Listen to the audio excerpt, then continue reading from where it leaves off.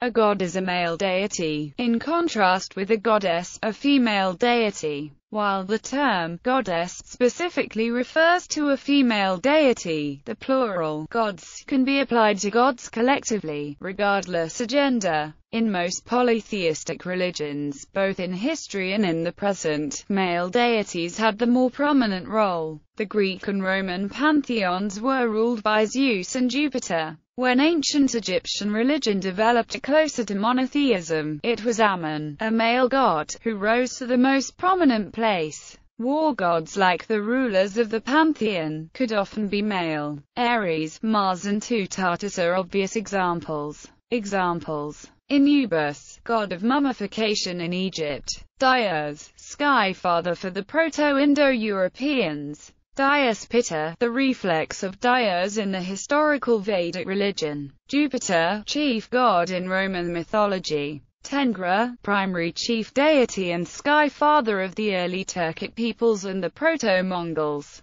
Zeus, main god in ancient Greece. Ra, sun god in ancient Egyptian religion. Enki, patron god of the Mesopotamian city of Eridu.